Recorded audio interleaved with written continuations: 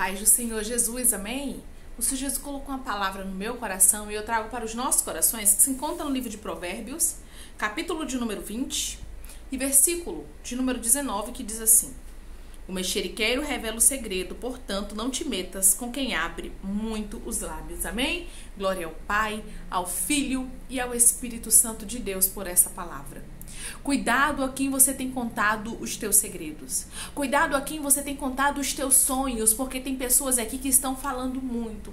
Você tem contado para pessoas que não são de confiança. Você tem, aleluia, se desabafado, porque muitas vezes, irmão, nós, irmãos, nós queremos nos desabafar, nós queremos falar, aleluia, porque estamos muitas vezes passando por algumas coisas e em vez de entrar no quarto, fechar a porta e orar em secreto ao Pai que recompensa, ao Pai que vê, nós queremos assim conversar com pessoas pessoas. O Senhor está dizendo para você cuidado com quem você conversa, porque a Bíblia nos diz aqui, aleluia, que o mexeriqueiro revela o segredo. Portanto, não te metas com quem abre muitos lábios. Tem pessoas que falam muito e elas podem até ser pessoas boas, ser pessoas legais, mas elas não são dignas da tua confiança. Você tem aberto os teus segredos para pessoas que está abrindo segredos que você contou para outras pessoas. Ramando cantarasto decanta. Cuidado para quem você fala fala, cuidado para quem você revela, porque existem sonhos e projetos que estão chegando até inimigos teus, porque pessoas da tua confiança têm falado.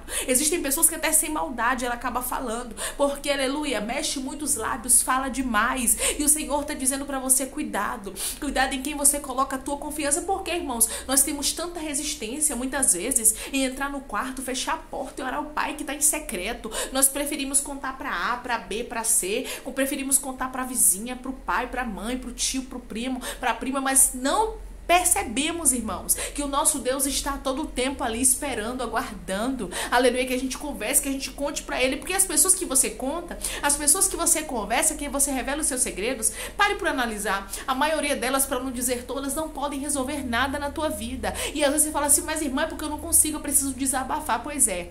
Deus está te esperando.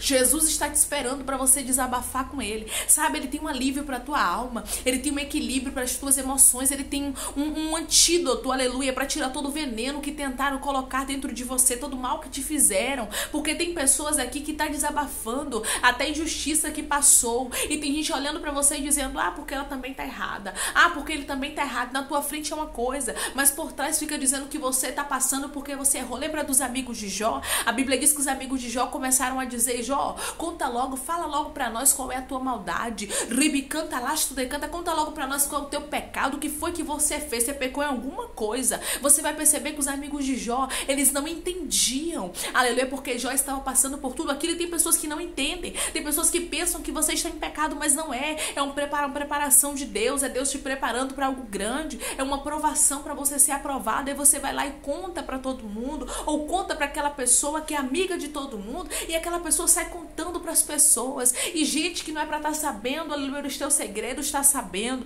E gente que não é para estar tá sabendo daquilo que Deus falou com você, está sabendo. E Deus está dizendo: ei, para de alimentar os inimigos, aleluia, com a tua fragilidade. Para de alimentar aqueles que estão esperando a tua queda. Ei, fica em silêncio, está passando por prova, glorifica, louva o Senhor, exalta. Fala para Ele, porque Ele pode resolver. Quando você aprender que o teu amigo é o Senhor, verdadeiramente você vai perceber que as coisas começam começarão a fluir, que você começará, aleluia, a ser abençoado. Mas você precisa entender, você precisa confiar, você precisa acreditar que Deus é o teu melhor amigo. Deus trouxe pessoas aqui para te dizer: Eu sou o teu melhor amigo. Não quer dizer que você não vai ter amigos terrenos, aleluia, que você não vai ter pessoas que você vai conversar, vai confiar. Mas existem situações que não são para ser abertas para todo mundo, é que é só você e Deus. Então a partir de agora comece a guardar o segredo. Porque tem pessoas que estão ao teu redor que estão falando de você. Tem pessoas que você tem confiado que estão falando da tua vida. Você conta o segredo para ela, ela vai lá e conta para outra pessoa de confiança e outra pessoa já conta para outra, daqui a pouco tá todo mundo sabendo da situação que você está passando e Deus está dizendo: não te coloquei nessa prova para que todos fiquem sabendo. Eu te coloquei para que você aprenda. Eu permiti essa prova na tua vida para que você seja aprovado. Mas tem pessoas que não estão entendendo. Mesmo que elas sejam tuas amigas, elas não estão conseguindo entender o processo que você está passando. E você, de uma certa forma, está alimentando pessoas que não são para ser alimentadas com a tua vida. Que Deus te abençoe.